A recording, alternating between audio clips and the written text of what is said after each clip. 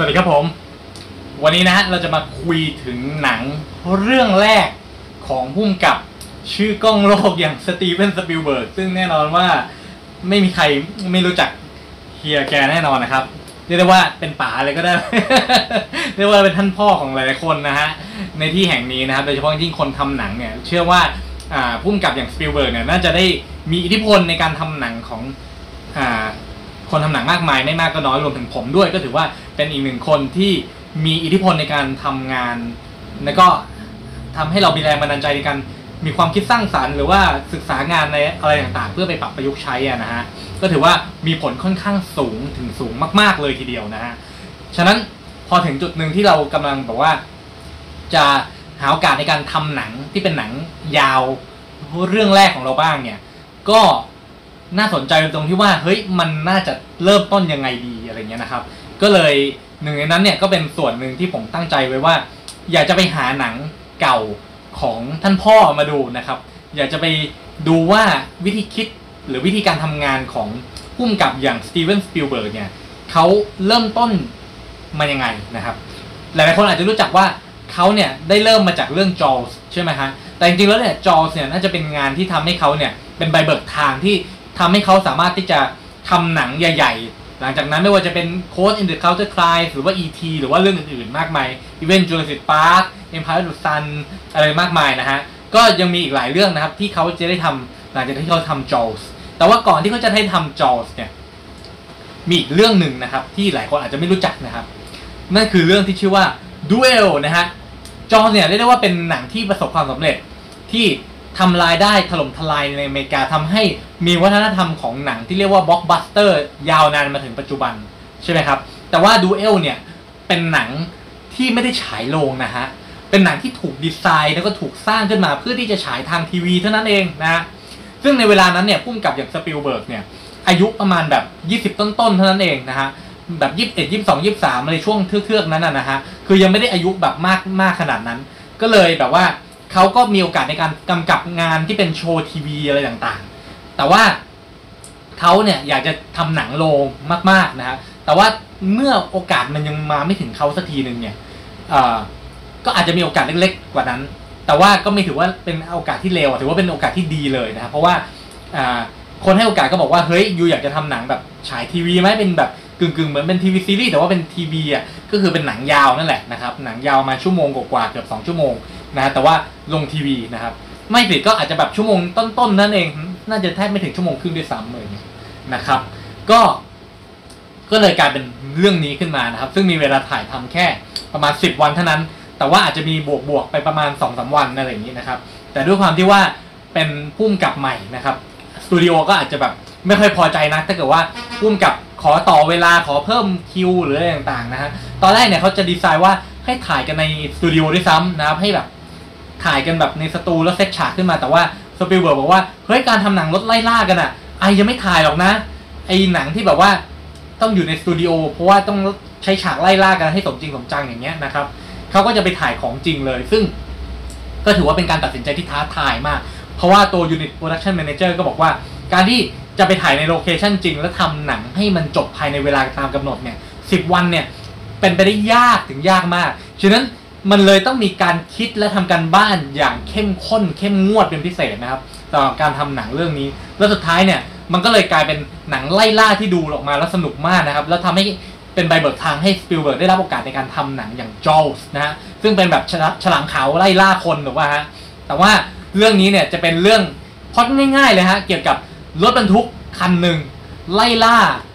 รถอีกคันหนึ่งซึ่งเป็นรถของตัวพระเอกนะครับ ก็เป็นรถบุโรทั่งคันหนึ่งนะที่ต้องขับข้ามรัฐอะไรเงี้ยแล้วเผอิญว่ามาเจอรถบรรทุกคันคันหนึ่งที่เหมือนกับว่าอาจจะแบบไม่ถูกโฉลกด้วย ปรากฏว่าอีรถบรรทุกคันนั้นก็เลยไล่ล่าเขาตลอดเรื่องเลยนะครับ แบบไม่ว่าจะกวนตีนหรือว่าแบบทำทุกวิถีทางนะ เพื่อที่จะไล่บี้แทบจะเหยียบกันตายอะพูดง่ายๆแทบจะชนกันตายเลยนะฮะก็คือหนังมันดูมีแค่นี้เอง ตัวละครไม่ต้องมี background อะไรมากมายนะครับ แต่นี่คือความสามารถของผู้กำกับอย่างสปิลเบิร์กที่เขาสามารถที่จะเล่าเรื่องออกมา สามารถที่จะบีบ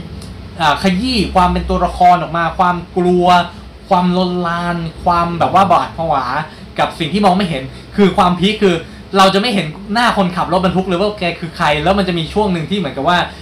หนังจะพาเราไปอยู่ตรงคาเฟ่นะครับ ซึ่ง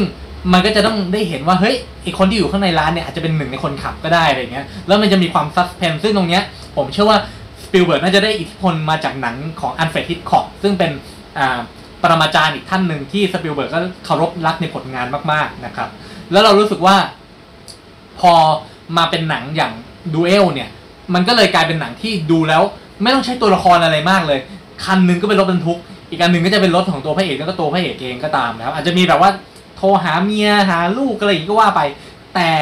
ในเรื่องเนี่ยมันก็จะเน้นๆตรงที่ว่ามันไล่กันไปไล่กันมาไล่ล่าไปไล่ล่ามาแค่นั้นเองนะครับ แต่มันสามารถที่จะเล่าออกมาได้อย่างสนุกสนานมากนะฮะดูแล้วมีความลุ้นระทึกจนผมแบบ ลืมดูเวลาไปเลย แล้วไม่น่าเชื่อฮะเรื่องนี้สร้างมาตั้งแต่ปีสมัยแบบ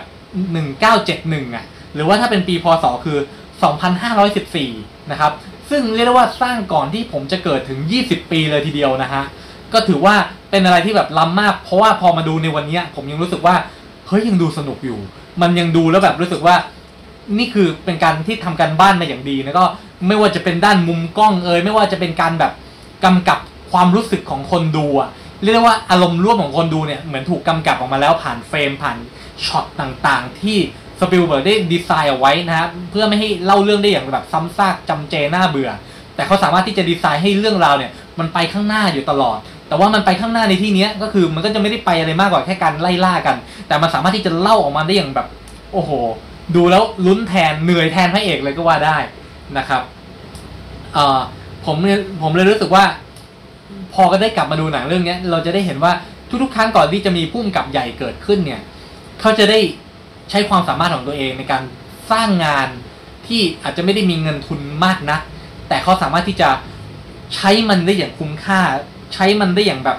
เต็มประสิทธิภาพเต็มเม็ดเต็มหน่วยนะฮะเพื่อสู้กับสิ่งที่ตัวเองเชื่อ ผมมานั่งดูเบื้องหลังหลังจากที่ดูหนังจบเนี่ยสปิลเบิร์กก็บอกว่าเขาเนี่ยไม่สามารถที่จะย้อนกลับไปแล้วทำอย่างนี้ใหม่อีกครั้งได้ เพราะว่าเขารู้สึกว่าลูกบ้าที่เขามีในวันนั้น เวลานั้นเนี่ย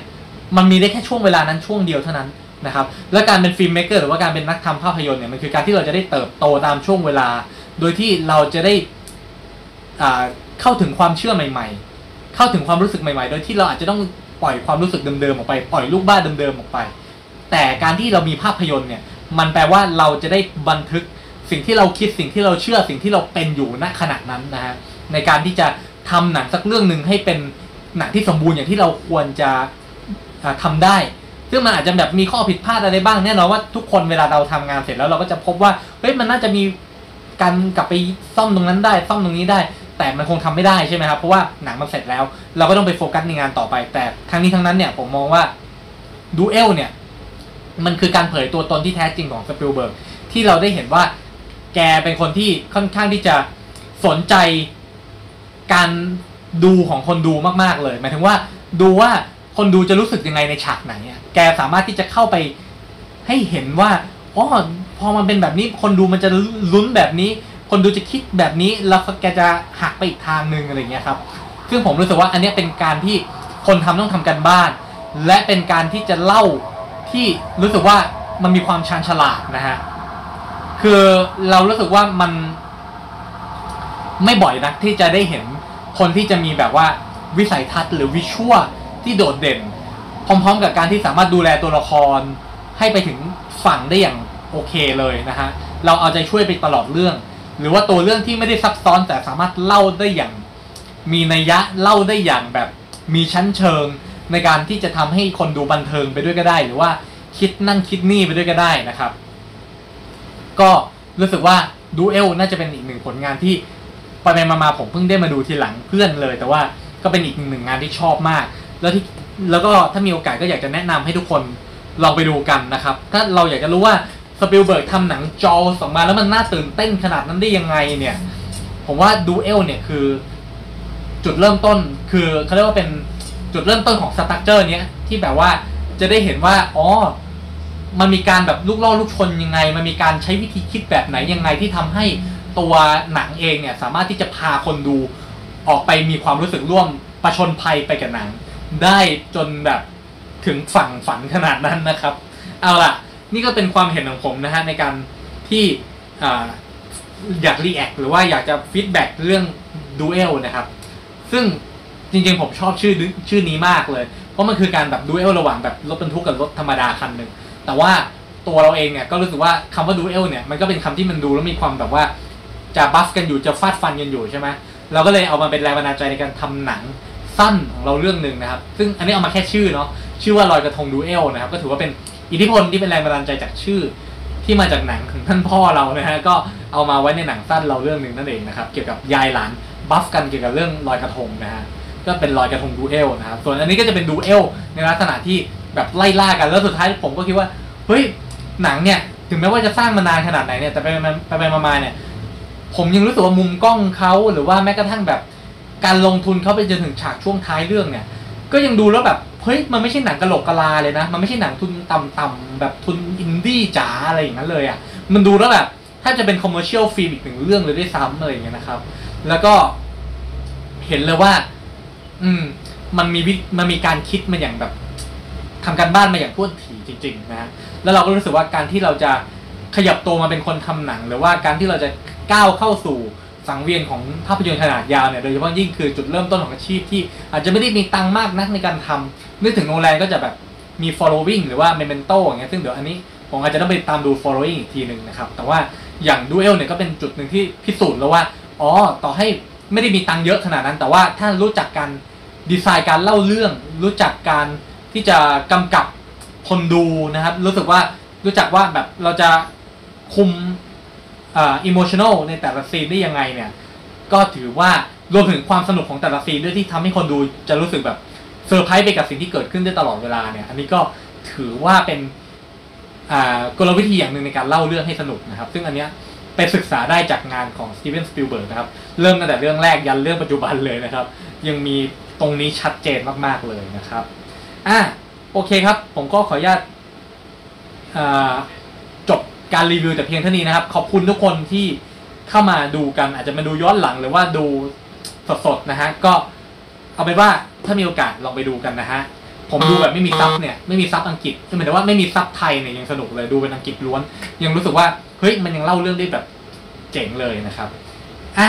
โอเคครับ ก็ลองไปหาดูกันนะฮะ อาจจะหายากนิดนึงแต่ว่าเชื่อว่าถ้าเกิดว่า